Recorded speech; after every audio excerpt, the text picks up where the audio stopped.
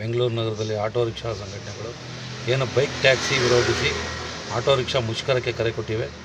ಆ ಬೈಕ್ ಟ್ಯಾಕ್ಸಿನ ಬೆಂಗಳೂರಿನ ಎಲ್ಲ ಆಟೋ ಚಾಲಕರು ನಾವು ವಿರೋಧಿಸ್ತೀವಿ. ಆದರೆ ಈ ಒಂದು ಯುಗಾದಿ ಹಬ್ಬದ ಟೈಮಲ್ಲಿ ಈ ರೀತಿ ನಾವು ಮುಷ್ಕರಕ್ಕೆ ಏಕಾಏಕಿ ಕರೆ ಕೊಟ್ಟು ಜನರಿಗೆ ತೊಂದರೆ ಕೊಡೋದ್ರಿಂದ ಇದು ಏನು ಪ್ರಯೋಜನ ಅಲ್ಲ ಈಗಾಗಲೇ ಬೈಕ್ ಟ್ಯಾಕ್ಸಿ ಮಹಾರಾಷ್ಟ್ರದಲ್ಲಿ ಮತ್ತು ದೆಹಲಿ ಸರ್ಕಾರಗಳು ಅಲ್ಲಿನ ಕೋರ್ಟ್ಗಳ ಆದೇಶದ ಪ್ರಕಾರ ರದ್ದು ಮಾಡಿ. ಆದರೆ ಇಲ್ಲೂ ಸಹಿತ ಸಾರಿಗೆ ಮಂತ್ರಿ ಶ್ರೀರಾಮ್ ಅವರು ಸಾರಿಗೆ ಇಲಾಖೆಯಿಂದ ವರದಿನ ತರಿಸ್ಕೊಂಡು ನಾನು ಇವ್ರ ಮೇಲೆ ಕ್ರಮ ತೊಗೊಂಡು ಇದನ್ನು ರದ್ದುಪಡಿಸೋಕ್ಕೆ ಕ್ರಮ ತೊಗೊಳ್ತೀನಿ ಅಂತ ಹೇಳಿದ್ದಾರೆ. ನಾವು auto rickshaw drivers union, A R D U ಸಹಿತ ನಾವು ಬಿ ಎಂ ಎಲ್ ಟಿ ಅಂತ ಏನು ಬೆಂಗಳೂರು ಅರ್ಬನ್ ಟ್ರಾನ್ಸ್ಪೋರ್ಟ್ ಅವರಿಗೆ ಪತ್ರವನ್ನು ನೀಡಿದ್ದೀವಿ.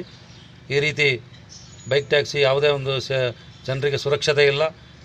ಮತ್ತು ಏನೇ ತೊಂದರೆ ಆದರೂ ಯಾರೂ ಕೇಳೋರಿಲ್ಲ. ಅದರಿಂದ ಇದನ್ನು ನಿಲ್ಲಿಸಬೇಕು ಅಂತ ಹೇಳಿ ಇದಕ್ಕೆ ಸರ್ಕಾರಕ್ಕೆ ತಾವು ಬರೀಬೇಕು ಅಂತೇಳಿ ಅವ್ರಿಗೆ ಪತ್ರವನ್ನು ಕೊಟ್ಟಿದ್ದೀವಿ.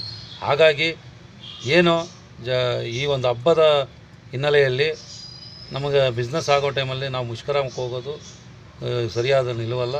ಹಾಗಾಗಿ ಚಾಲಕರು ಅವರ ಇಚ್ಛೆಗೆ ಬಿಟ್ಟಿದ್ದು ಮುಷ್ಕರಕ್ಕೆ ಭಾಗವಹಿಸಲು ಭಾಗವಹಿಸ್ಬೋದು. ಅವ್ರ ಇಷ್ಟ. ಯಾಕಂದರೆ ನಾವು ಪ್ರತಿನಿತ್ಯ ನಮ್ಮ ಕೂಲಿ ಅದು.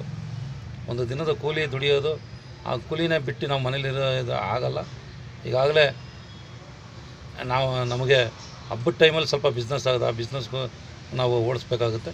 ಈಗ ಮುಷ್ಕರದ ಬೆಂಬಲ ಕೊಡೋರು ಚಾಲಕರು ನಿಲ್ಲಿಸ್ಕೋಬೋದು ಅವರು ಅದು ಅವ್ರ ಇಷ್ಟಕ್ಕೆ ಬಿಟ್ಟಿದ್ದು ಅಂತ ನಾನು ಹೇಳ್ತೀನಿ. Auto rickshaw drivers union A R D Rudramurthy, ಪ್ರಧಾನ ಕಾರ್ಯದರ್ಶಿ.